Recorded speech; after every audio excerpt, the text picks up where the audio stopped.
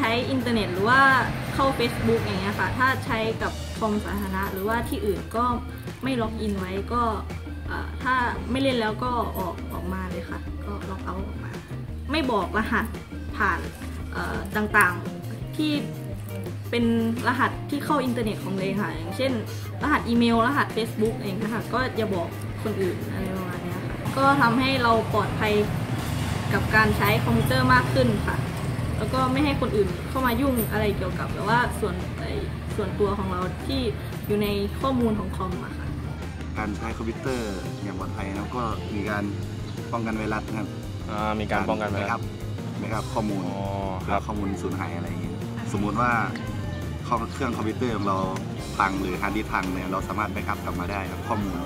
ข้อมูลก็จะกลับมาอย่างเงี้ยใช้โปรแกรมแอนตี้ไวรัสครับผมในการป้องกันไวรัส จากอินเทอร์เน็ตครับ แล้วก็ระบบภัยคุกคามนอกคอมพิวเตอร์อีกครับผม สมมุตินะครับในคอมเราเราเก็บไฟล์สำคัญไว้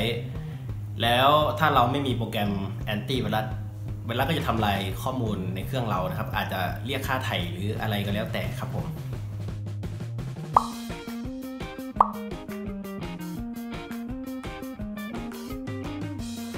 การส่งภาพโป๊ขึ้นเว็บครับ ก็กฎหมายเขาก็ไม่รองรับอะครับ เป็นการอนาจารอะไรประมาณนี้ครับ เป็นการรูปภาพอนาจารลามกอนาจารครับส่งภาพตัดต่อล้อเลียนเพื่อนอย่างเงี้ยครับมันก็เป็นการละเมิดสิทธิ์ของเพื่อนอะไรประมาณนี้ แต่ไม่รู้ว่าโทษมันเป็นยังไงครับ ช่วยป้องกันไม่ให้คนอื่นมาละเมิดเรา หรือว่าเราก็ป้องกันไม่ไม่ไปละเมิดคนอื่นเหมือนกัน จะได้ไม่ทำให้คนอื่นเสื่อมเสีย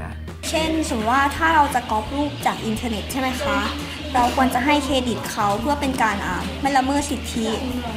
เกี่ยวกับอ่ารูปภาพที่เราก๊อปมาอย่างเงี้ยค่ะ จะได้รู้ว่าเราก๊อปมาจากแหล่งไหนค่ะ เราก็จะไม่ไปก๊อปรูปโดยที่ไม่ให้เครดิตเขาผิดอย่างเงี้ยค่ะแล้วเราก็จะไม่โดนฟ้องร้องภายหลังเนี่ยค่ะ ไม่ใช้คอมพิวเตอร์รบกวนผู้อื่น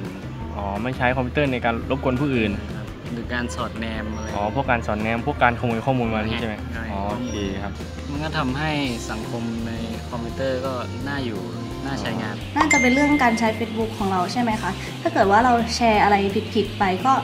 มันก็มีความผิดทางกฎหมายแบบเนี้ยเออก่อนที่จะแชร์จะอะไรก็ต้องดูให้มันดีๆก่อนไม่งั้นก็อาจจะเออโดนโดนจับอะไรแบบนี้ได้ค่ะโพสเฟซบุ๊กการตั้งสถานะหรือแชทอะไรต่างๆ ก็เหมือนแบบเราจะไม่ไปแบบไปหมิ่นคนอื่น ไปกล่าวหาคนอื่น เราเข้าไปเป็นหนึ่งในนั้นก็เป็นหนึ่งคนในสังคมนะครับ ก็เปรียบเหมือนสังคมจริงก็คือ เราก็ต้องทำตัวแบบทำตัวให้เป็นคนดี ก็คือถ้าเราทำตัวดีสิ่งดีๆมันก็จะตามเรามานะครับผมก็ประมาณนี้แหละครับ